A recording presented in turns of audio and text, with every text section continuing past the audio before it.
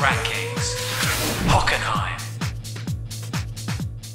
Hello and welcome to my preview of the German Grand Prix at the new Hockenheim. I call it the new Hockenheim because the old one, which was used over 30 times, has now been supplanted by this revised version, which uses part of the old circuit but leaves a lot of it out. It's still very interesting indeed. I'm going to be talking to you about that.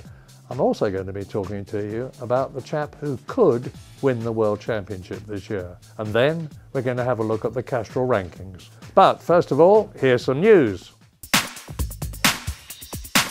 Red Bull's Mark Webber is well and truly back on track after his spectacular crash in Valencia.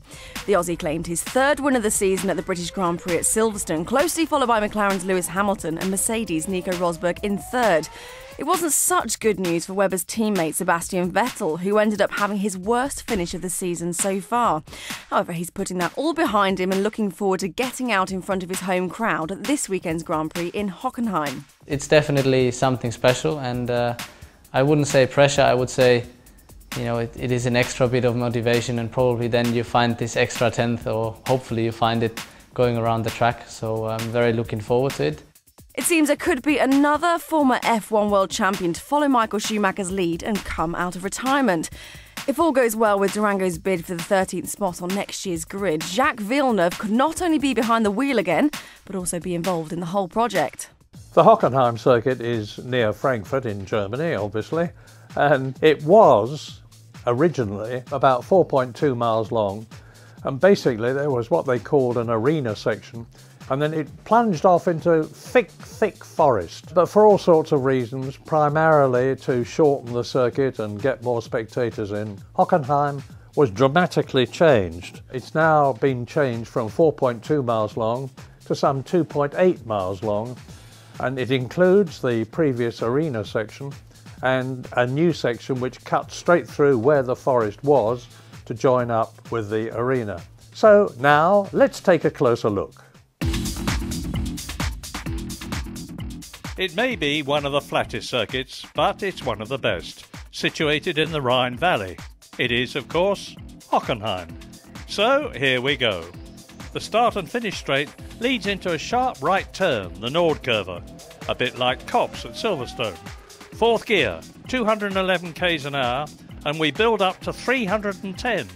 The second fastest part of the circuit, as we slam on the brakes for turn two, just 93 clicks, winding right and then left through turn four and onto the parabolica.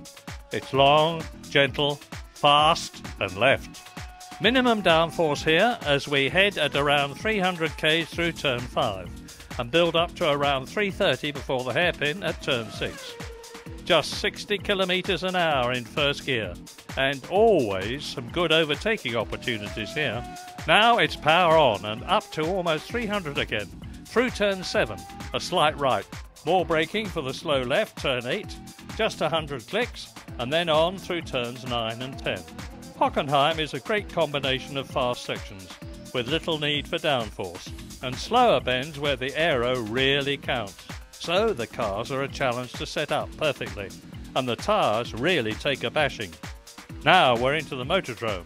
There are stands all round this area, great views for the spectators, and this is a section which can really mess up your lap if you're not careful.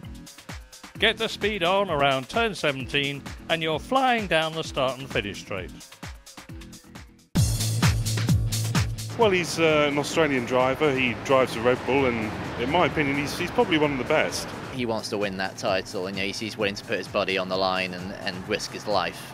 I think he's going to win the championship this year, and I think he's the best.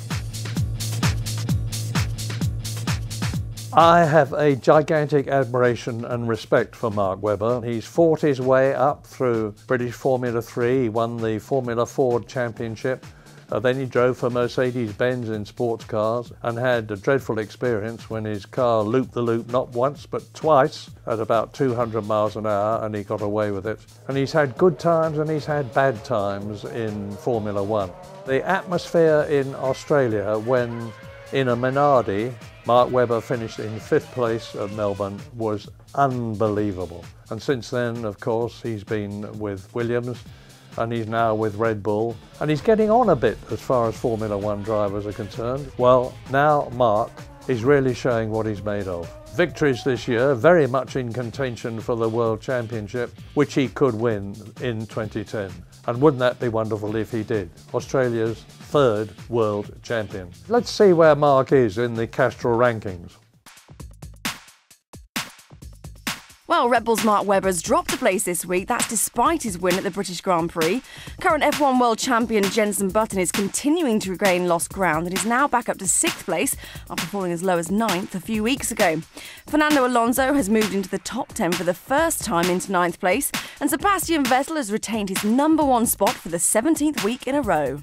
Hockenheim is the scene of a change of attitude of the German nation towards Formula One racing. That's because of one man, Michael Schumacher, the national hero. He's made Formula One as far as Germany is concerned, and of course, he's had victories there for Ferrari, and he's going to be back this year for Mercedes Benz. They'll be really turning out.